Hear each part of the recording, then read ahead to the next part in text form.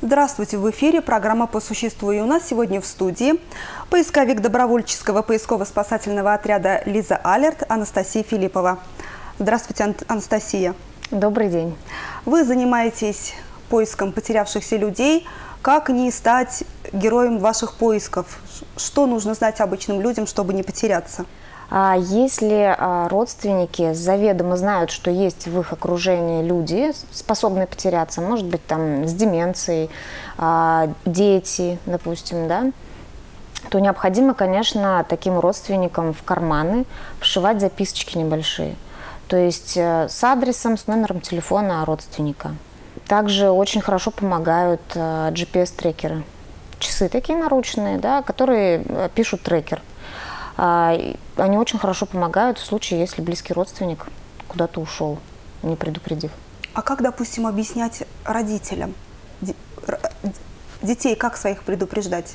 Конечно, с детьми необходимо вести беседу о том, что ну, по поводу незнакомых людей, да, что с незнакомыми людьми мы не общаемся, не идем на контакт, не помогаем никаким дядям, тетям там, с кошками и собаками и так далее. У нас в отряде Лизалерт есть такое направление, отдельная школа Лизалерт, которые непосредственно проводят в школах и детских садах, старших подготовительных группах лекции как раз на эту тему.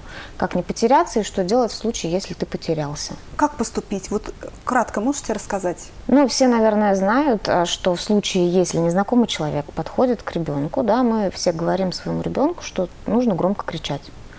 А очень хорошо помогает фраза «не подходите, я вас не знаю», то есть привлечь внимание окружающих. Следующее – это должны быть разработаны такие некие правила, скажем, да, между мамой, договоренность должна быть между мамой э, и ребенком, что делать в случае, если ребенок, допустим, отстал.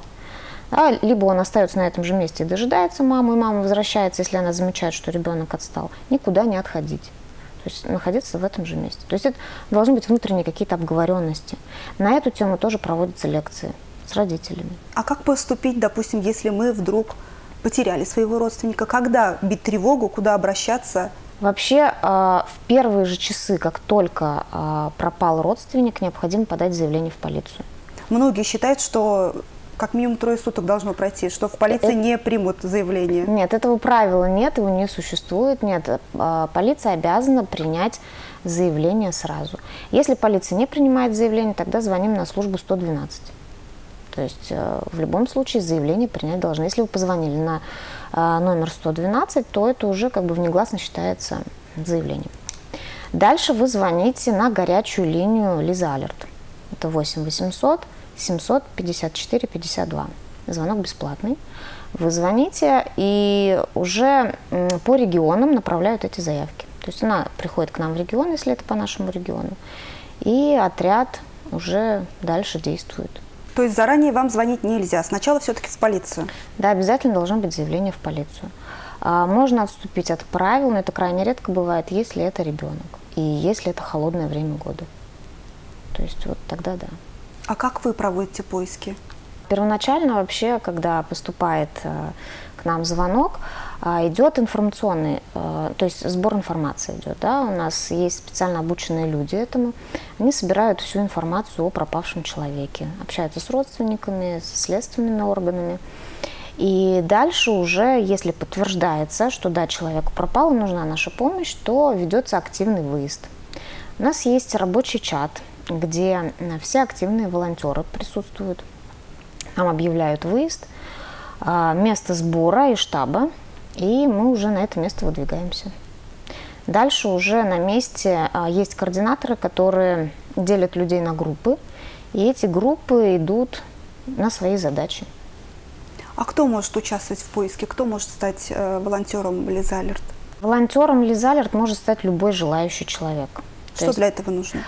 А, для этого достаточно позвонить на номер горячей линии и сказать, что я хочу вступить в отряд. Дальше они уже отправляют, опять же, по регионам, связывают с региональным представителем, то есть в каждом регионе есть свой региональный представитель, и они уже между собой как бы договариваются, чем человек может помочь. Но в любом случае, наверное, нужна какая-то подготовка для проведения поисков. Да, а, все новички, вступившие в отряд, они проходят специальное а, учение, то есть проходят для них специальное учение. Вот как раз недавно в Канаше прошли учения для новичков. вот, где присутствовало около 30 человек. Чему учат, допустим, на этих учениях? Чему учили? Проходит обучение работы с оборудованием, это компас, рация, навигатор обязательно.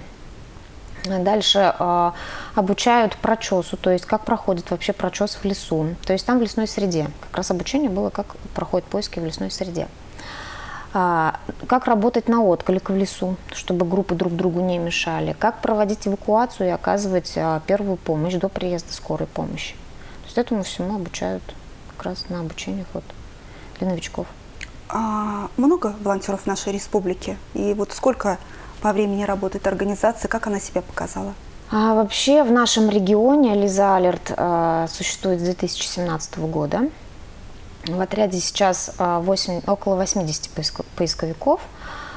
Они по районам, то есть там часть в Чебоксарах у нас там около 30 человек, в Канашском районе около 30 человек и Алатре, по-моему, 5 человек, если не ошибаюсь. Вообще, если брать статистику за 2019 год, а пропавших было 312 человек, а найдено было более 200. Вот, из них 51 ребенок, все найдены, все живы. И если брать статистику за январь, январь, конечно, у нас побил рекорды, 41 заявка была, а из них было 8 детей. Нашлись? А, семеро найдены живы, да, один погиб. Какие поиски самые сложные? Любой поисковик, я думаю, скажет, что это детские поиски потому что дети это самые непредсказуемые а, люди, и их сложнее всего искать. Потому что не знаешь, какие будут последствия. И каждый, э, кто в отряде, большая часть, точнее, волонтеров, они родители, у них свои дети есть, угу. и переживают как за своих детей. То есть это эмоционально тяжело. Вот вы, Анастасия, когда последний раз выезжали на поиск? Я последний раз выезжала на прошлой неделе как раз на поиск. То есть это довольно часто происходит? Да. А, ну вот февраль, конечно, поменьше поисков было, но это да, регулярно то есть происходит, притом это может произойти в любое время суток. Вот. У нас больше, наверное, чаще ночные поиски, мы больше в вечернее время выезжаем. Почему-то родственники обращаются, то есть днем с собственными силами пытаются искать, не получается. И ночью начинают бить тревогу, когда понимают, что уже родственник близкий, на улице ночью холодно. Хотя, по идее, хорошо было бы обратиться заранее. Угу. То есть не нужно ждать, что да. пройдет время? Угу. То есть сразу.